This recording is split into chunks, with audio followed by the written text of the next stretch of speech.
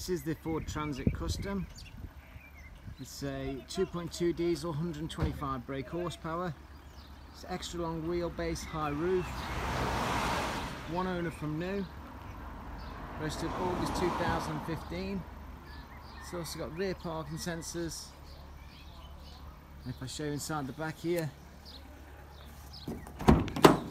it's got ply lining throughout. It's a huge van, as you can see. And if I go onto the side of the vehicle,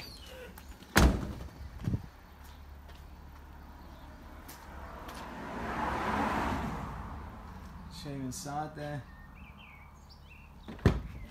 Inside the front, obviously very clean, three seats.